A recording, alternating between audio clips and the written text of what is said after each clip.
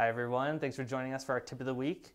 My name is Aaron McElhiney. I'm the acquisitions coordinator here at Property Management Inc., where we make property management manageable. So today we're going to talk about how to buy a property management company. More specifically, we're going to go through three purchase options uh, to make that deal happen. So uh, if you're new to property management or an existing property manager, you really need to know that this is the fastest way to grow your business. Uh, I imagine going through this process, you have a lot of questions, so hopefully this can uh, answer some of those and uh, give you a little bit more insight uh, into the structure. So first we're going to talk about a cash deal. And a cash deal, typically uh, you can get a lower price because there's more risk. You're putting more cash up front um, for those contracts or for that business, and uh, there's typically a little bit more risk involved there.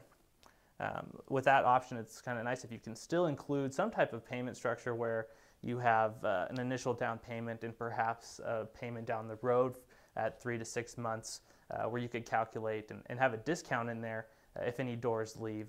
Uh, you can have a discount on the balance due. So hopefully you can include that in that cash deal. Okay, the second option here is a finance deal, and there's a couple different uh, ways to do this. You can go an SBA type route, or you could do even some seller financing. Um, the option there is great because uh, typically it's a lower out of pocket expense for a finance deal and you can pay over time. Um, also, from the seller's end, they can oftentimes make more money from that deal if they do uh, include some seller financing there. Um, a seller financing option it really is great, and most of the deals that uh, I would say we're working on right now do have some type of seller financing involved. So the third one here is a profit share, and this one's really our, our favorite structure if we can include it. Um, the great thing is, is a buyer and seller can both still benefit from this company over time. And if that company increases uh, and they get more doors under management, uh, the seller can, the seller and buyer can both make more money together. Um, so let's say the seller uh, wants to sell off their management company, but they're still in the real estate game and they've still got clients and they know they're going to have a lot of referrals coming in.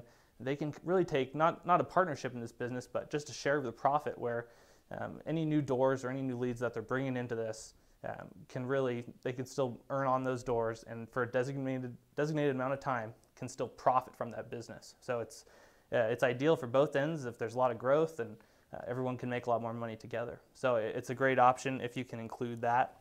Those are our three purchase structures that we typically work through here at pmi uh, if you'd like to learn more uh, please uh, visit us at doubleyourdoors.com uh, and make sure you register for what every property manager must know to double their doors under management.